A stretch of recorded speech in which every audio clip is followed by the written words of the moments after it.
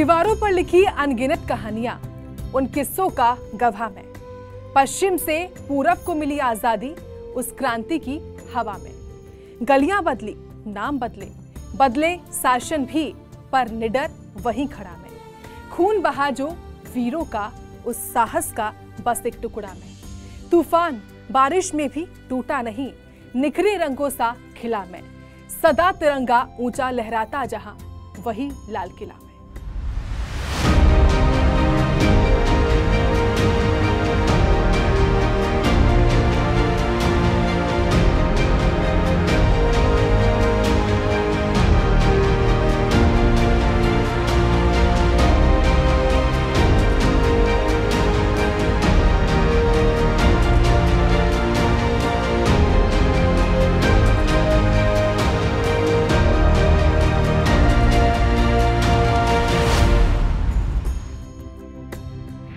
नमस्कार मैं साक्षी जादौन, लाल किले की प्राचीर के ठीक सामने अगर खड़े हो जाइए तो लाल किले की खुशबू, उसकी महक रगों में दौड़ने लगती है। वजह भी यही है कि बीते छिहत्तर सालों से बार बार हर प्रधानमंत्री ने इसी लाल किले की प्राचीर से पूरी दुनिया को यही संदेश भी दिया है कि भारत दुनिया का सबसे बड़ा लोकतांत्रिक देश सिर्फ़ जनसंख्या के हिसाब से नहीं है, बल्कि सभ्यता संस्कृति और कहीं ना कहीं विश्व विकास के लिए भी महत्वपूर्ण है। आज आपको इसी लाल किले का इतिहास बताएँगे, जिसने आज़ादी के छिहत्तर साल की हर सांस को जिया है। साथ ही लाल कोट से लाल किला बनने की पूरी कहानी भी आपको बताएँगे।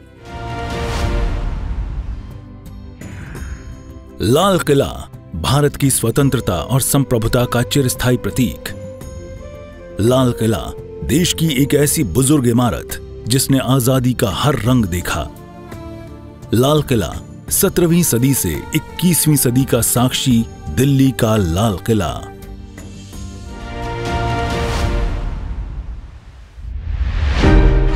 किसी ने कहा है कि इस ब्रह्मांड में इतना मज़बूत किला और कोई नहीं हो सकता। शायद आकाश तले ऐसा कोई किला है ही नहीं।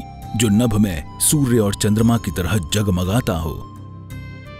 इसकी संरचनाएँ कल्पना से परे हैं। इसका हर कोना जगमगाहट से भरपूर है और हर दिशा में उत्तम बगीचे हैं। ये स्वर्ग का ही एक रूप है।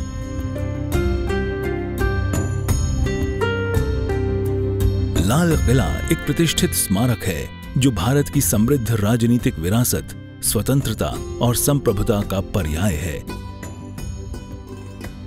ये शानदार किला दिल्ली के केंद्र में यमुना नदी के तट पर मौजूद है, जो कि तीनों तरफ़ से यमुना नदी से घिरा हुआ है, जिसके अद्भुत सौंदर्य और आकर्षण देखते ही बनता है। इतिहासकार बताते हैं कि लाल किले का पहले नाम लाल कोट था। दिल्ली का लाल कोट क्षेत्र हिंदू राजा पृथ्वीराज चौहान की बारहवीं सदी के अंतिम दौर में राजधानी थी। लाल कोट के कारण ही इसे लाल हवेली या लाल कोट का किला कहा जाता था। कहते हैं कि इसकी स्थापना तोमर शासक राजा अनंगपाल ने 1016 ईस्वी में की थी। साक्ष्य बताते हैं कि तोमर वंश ने दक्षिण दिल्ली क्षेत्र में लगभग सूरज कुंड के पास शासन किया, जो 700 ईस्वी से आरंभ हुआ था। तोमर शासन के बाद चौहान राजाओं का शासन चला। पृथ्वीराज चौहान ने 12वीं सदी में शासन ले लिया और किले का नाम किला राय पिथौरा रखा था। राय पिथौरा के अवशेष अभी भी दिल्ली के साकेत, महरौली, किशनगढ़ और वसंत कुंज क्षेत्रों में देखे जा सकते हैं। वहीं कुछ इतिहासकार बताते हैं कि शाहजहां ने जो कारनामा ताजमहल के साथ किया, वही कारनामा लाल कोट के साथ किया। लाल किला पहले लाल कोट कहलाता था। बता दें दिल्ली का लाल किला शाहजहां के जन्म से सैकड़ों साल पहले महाराज अनंगपाल तोमर द्वितीय द्वारा दिल्ली को बसाने के क्रम में ही बनाया गया था। फिर शाहजहां ने 1638 में आगरा से दिल्ली को राजधानी बनाया और दिल्ली के लाल किले का निर्माण शुरू किया। भारत के इस भव्य लाल किले के निर्माण का काम 1648 ईस्वी तक करीब 10 साल तक चला। आपको बता दें कि शाहजहां इस किले को उनके द्वारा बनवाए गए सभी किलों में बेहद आकर्षक और सुंदर बनाना चाहते थे। इसलिए इस किले के निर्माण में ध्यान देकर इसे भव्य और आकर्षक रूप दिया था। यही वजह है कि लाल किले के निर्माण के इतने सालों के बाद आज भी इस किले की विशालता और खूबसूरती के लिए ये विश्व भर में जाना जाता है। ये भव्य किला बनने की वजह से भारत की राजधानी दिल्ली को शाहजहानाबाद कहा जाता था। साथ ही ये शाहजहां के शासनकाल की रचनात्मकता की मिसाल माना जाता था। मुगल सम्राट शाहजहां के बाद उसके बेटे औरंगज़ेब ने इस किले में मोती मस्जिद का भी निर्माण करवाया था। शाहजहाँ के समय की बात है तो इसके अंदर एक मोती मस्जिद है।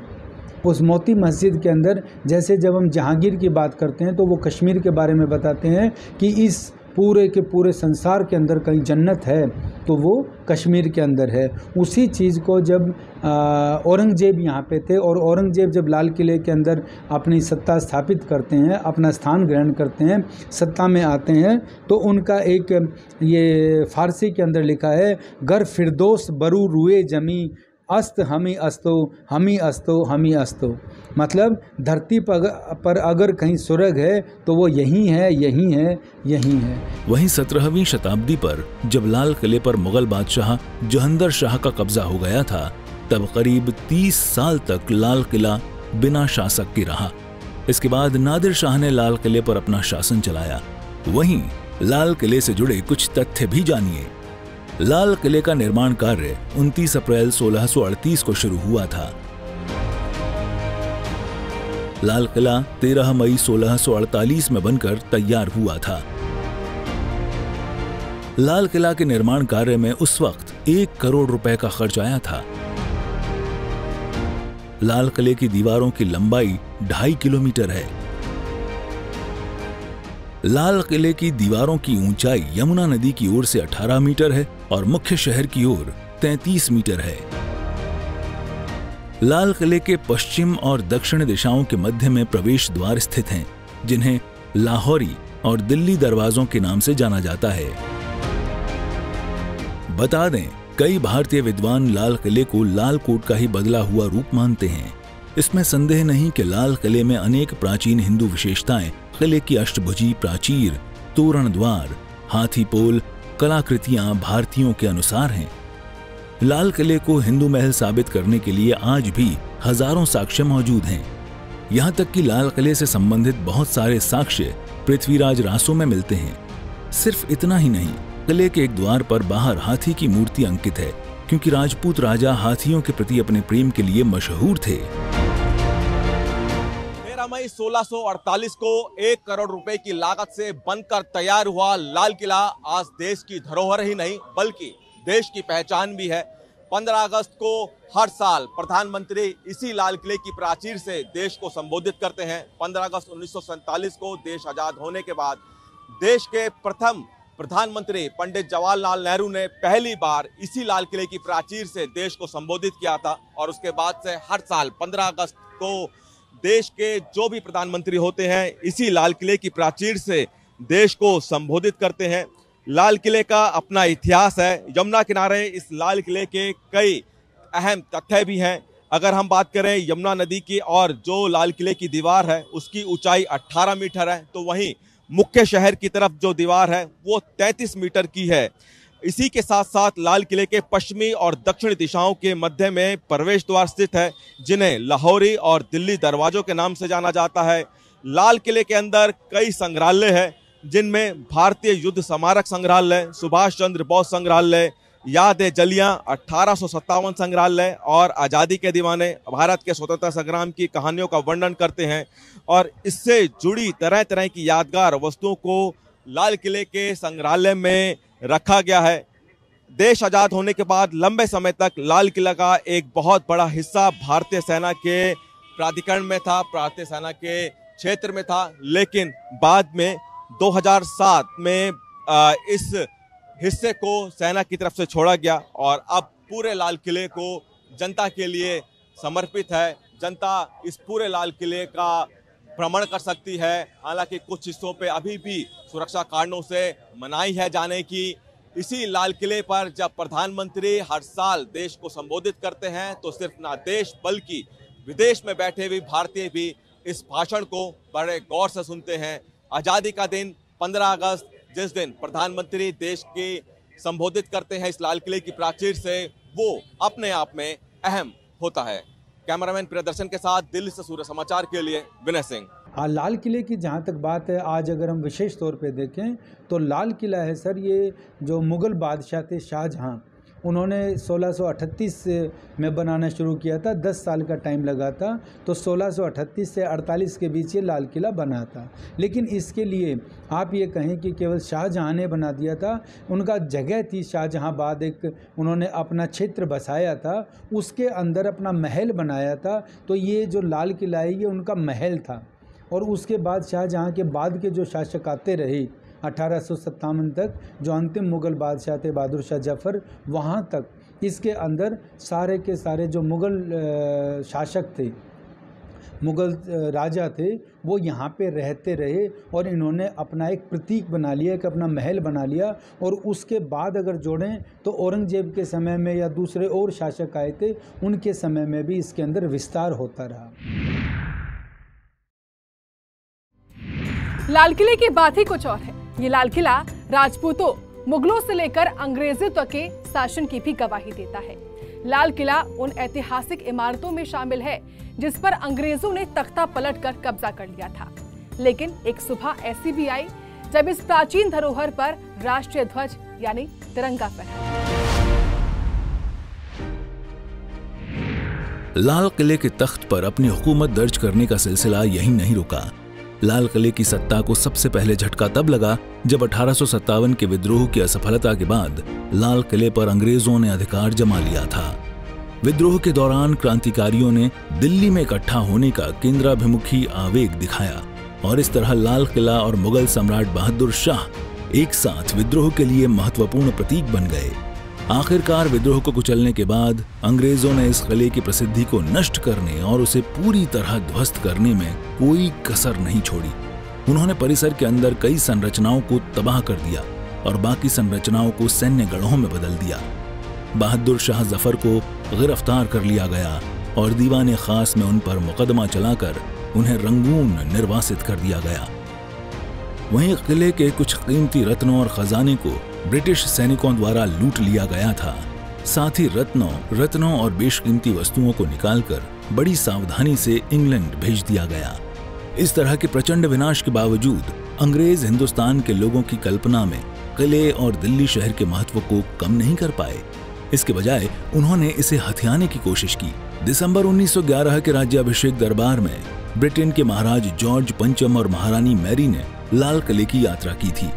वो मुसम्मन बुर्ज के छज्जे से जनता के सामने वैसे ही उपस्थित हुए, जैसे मुगल बादशाह झरू का दर्शन के दौरान किया करते थे। राज्याभिषेक दरबार में ये भी घोषणा की गई थी कि अब से कलकत्ता की बजाय ब्रिटिश भारत की राजधानी दिल्ली होगी।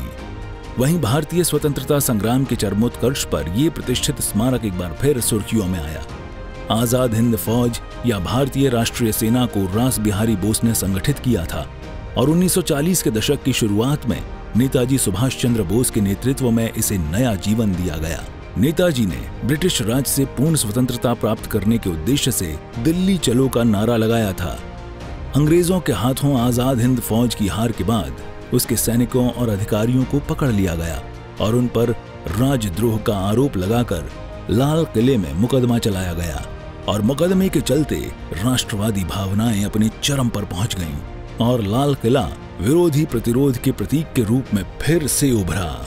जब मुग़ल सत्ता थी यहाँ पे तो मुग़ल सत्ता में शाहजहाँ के बाद ये हमारा एक महल था और उसके बाद ये एक शक्ति का प्रतीक बन गया था। और उसी शक्ति के प्रतीक में जब आप देखेंगे कि अट्ठारह का जब जन आंदोलन होता है तो वहाँ पे दिल्ली के अंदर जब अधिकार किया जाता है तो वो यहीं अधिकार होता है। और जब अंग्रेज़ भारत में आ जाता है तो अंग्रेज़ भी भारत के अंदर, दिल्ली में जब वो अपना शासन करता है तो दिल्ली के अंदर एक छावनी बनाता है।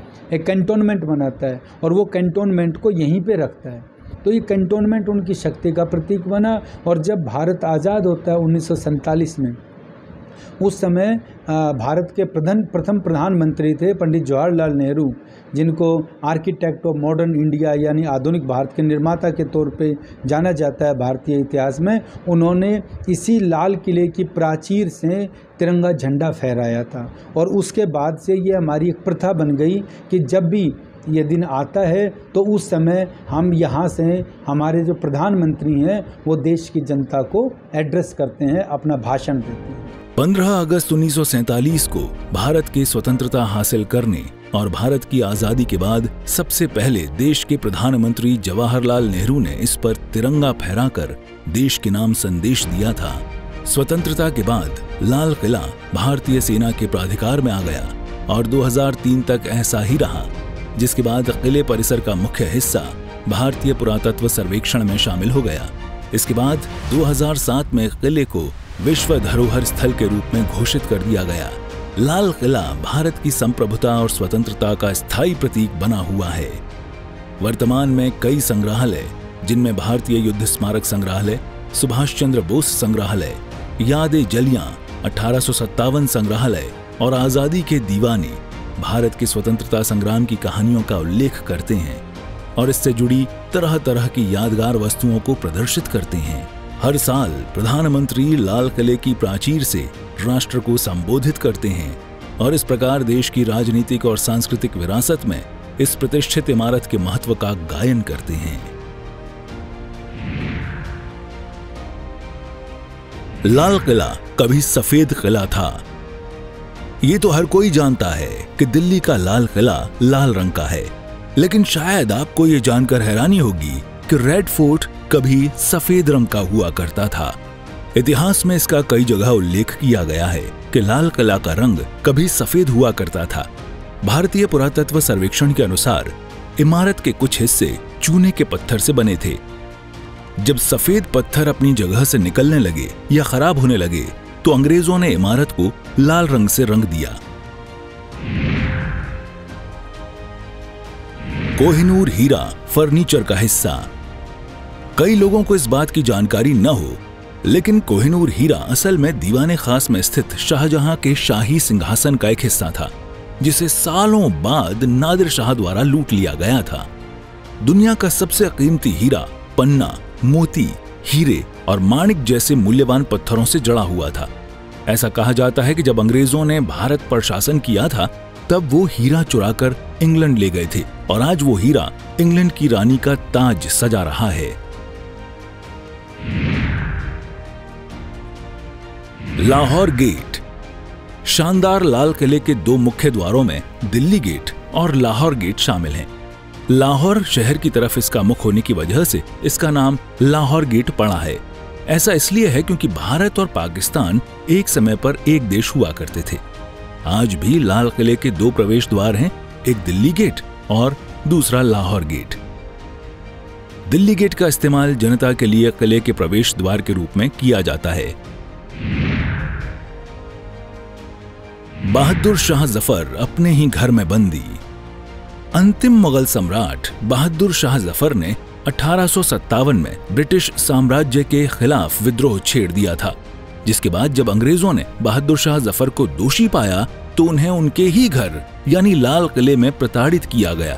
और बाद में इस इमारत में दीवाने खास में ब्रिटिश अदालत ने उन्हें कैद कर दिया। विश्व धरोहर स्थल। लाल किले को 2007 में यूनेस्को द्वारा अपने ऐतिहासिक और सांस्कृतिक महत्व के लिए विश्व धरोहर स्थल के रूप में सूचीबद्ध किया गया है। भारत अपनी इस वास्तुशिल्प खूबसूरती पर बहुत गर्व करता है, जिसे हम सभी लाल किले के नाम से जानते हैं। 15 अगस्त उन्नीस यानी जिस दिन भारत को आज़ादी मिली थी इस दिन का हर भारतीय के लिए एक अलग ही भाव है। लेकिन इतिहास के सुनहरे पन्नों में दर्ज इस दिन की पहली सुबह कैसे हुई, ये आपको बताएँगे। अंग्रेज़ों के 200 सालों के शासन का खात्मा और दिल्ली में लाल किले पर भारत के ध्वज के फहराने की वो ऐतिहासिक घटना हर किसी के लिए गर्व का पल रही है। लाल किला सिर्फ़ लाल पत्थर से बनी कोई इमारत भर नहीं है। इसका बनना इतिहास में एक महत्वपूर्ण घटना थी। वहीं 15 अगस्त 1947 को भारत के पहले प्रधानमंत्री जवाहरलाल नेहरू ने दिल्ली में लाल किले के लाहौरी गेट पर भारतीय राष्ट्रीय ध्वज फहराया था। पंडित जवाहरलाल नेहरू का वो पहला भाषण, जो उन्होंने 14-15 अगस्त की आधी रात को राष्ट्रपति भवन से दिया था, वो अभी भी लोगों की यादों में बसा है। पंडित नेहरू ने अपने पहले भाषण में कहा था कि कई सालों पहले देश के भाग्य को बदलने की कोशिश शुरू हुई थी और अब वक्त आ गया है कि देश अपनी प्रतिज्ञा को पूरी करे। पंडित नेहरू ने अपने पहले संबोधन में कहा था कि आज रात 12 बजे जब पूरी दुनिया सो रही होगी, उस वक्त भारत एक आज़ाद जीवन के साथ नई शुरुआत कर रहा होगा।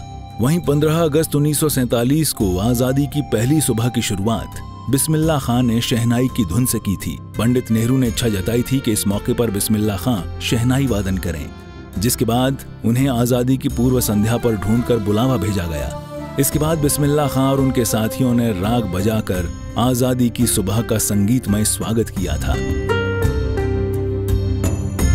इसके बाद पंडित नेहरू ने ध्वजारोहण किया था। देश आज़ादी की छिहत्तरवीं वर्षगांठ मना रहा है।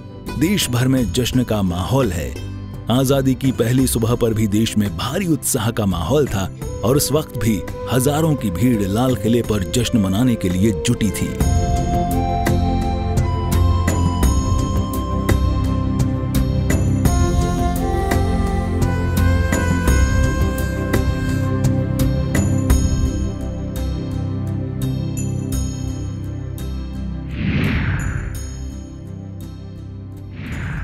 की फिजाओं को सदा याद रहूँगा। आज़ाद था, आज़ाद हूँ, आज़ाद रहूँगा। आज की तारीख में ये लाल किला आज़ादी के गुरूर पर इतराता है। वो दिन खास होता है जब देश का सबसे बड़ा नेता, यानी देश का प्रधान, लाल किले की प्राचीर से देश का भविष्य करता है। इसी के साथ हमारी खास पेशकश में इतना ही। जय हिंद।